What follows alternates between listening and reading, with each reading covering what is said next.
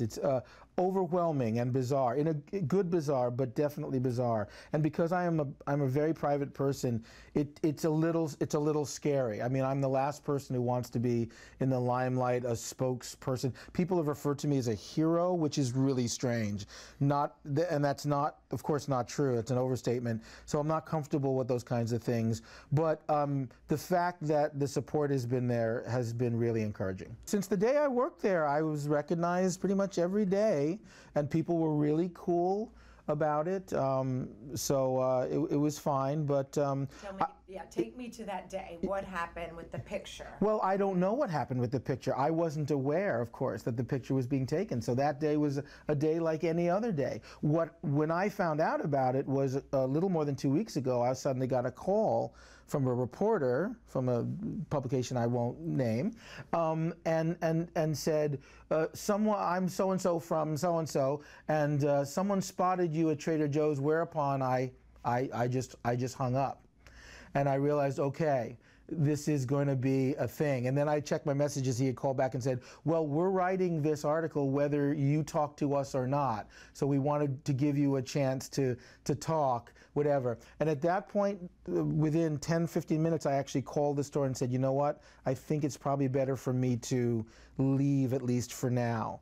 And I, and I, you know, I made a decision to leave the store.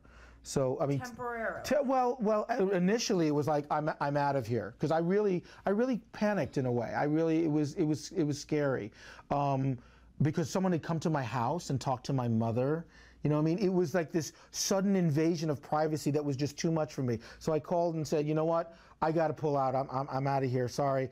Then I talked to uh, my, my manager, and he actually introduced the idea of, well, listen, why don't you just not make a definite decision? Why don't we just make it a, a, a you know an indeterminate leave of absence? So that's kind of where it stands now. I can I can go back if I want to, which is very nice to know. And then all of a sudden, it's like it's out in the, in the internet all over the world. This picture, this terrible picture, which of course I have to say was photoshopped. Uh, you know, I just want you to know. Uh, I, do, I, I, do not look that bad. They, but um, why uh, did you panic initially when they said we have a picture? Okay, but people knew you. Did you?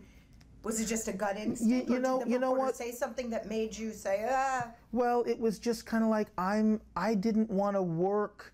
It would. I just felt it would be too uncomfortable to be at the store with this thing going on, not knowing who's there watching me, not knowing who's snooping around, what customers coming to look, you know.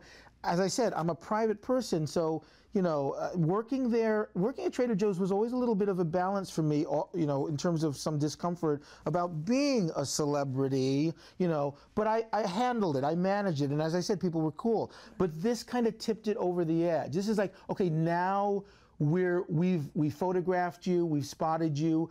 Who knows what's going on? We're, we're, we're looking, we're watching, you know, we're, you know, and, and that's like, I, I couldn't, I couldn't envision myself for the sake of my own comfort and dignity. I didn't feel like I could be in that position, and that's why I, I left. So soon after, I was like, oh my gosh, look at this, this is terrible.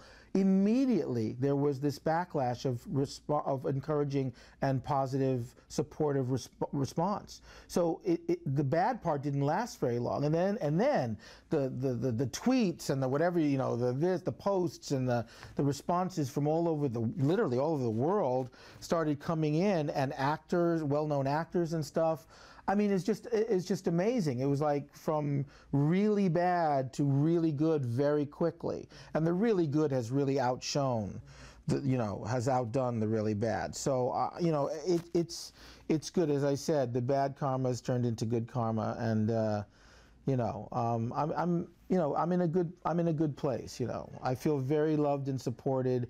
And as I said, you know, as I've said, the issue about me being shamed is not the most important issue. The important issue is that we start thinking about what it means to work in, in this country, in the you know, in life, and that and that work is honorable, and that work is noble, and that there's some jobs are not better than other jobs, and that no one should be shamed for doing. Not it's not about me, but it's like you know what's wrong with working. That's the kind of conversations that are going on now. People are really reevaluating this idea, and that's very valuable. As Shakespeare says, some have greatness thrust upon them. So in this particular context, that's kind of what's going on. Yeah, yeah. So you know, we'll see what happens. What are you currently working on? What are you Okay, currently, as I, as I said, I teach. yeah. I teach in a, a, couple of different contexts, uh, actually three at the moment. Um, Shakespeare and acting in, in the New York and Jersey area. Mm-hmm. Um, I basically, you know, I, I, I, I'm, I'm married and, uh, you know, uh, and I, I have a kind of, I have a kind of quiet life.